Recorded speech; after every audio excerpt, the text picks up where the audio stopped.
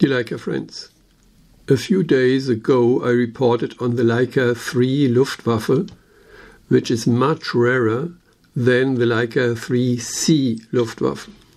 Today I'm actually presenting a Leica 3C Luftwaffe, but it's not a mass-produced product either. It belongs to the group of the first 16 Luftwaffe 3C.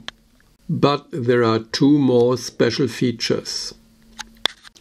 In this tiny block, the Luftwaffen Eigentum engraving is not yet on the back of the top cover, but rather in the Vulcanite, as on the Leica 3 and the Leica 3B Luftwaffe.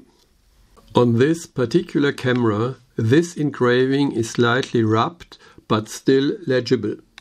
With these special features, these 16 cameras probably form by far the most interesting subgroup of the Leica 3C Luftwaffe.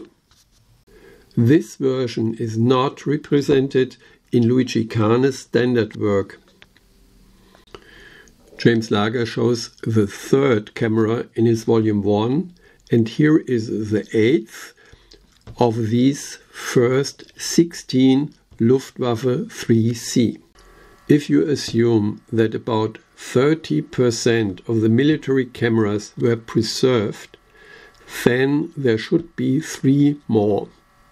Again, thanks for listening and goodbye.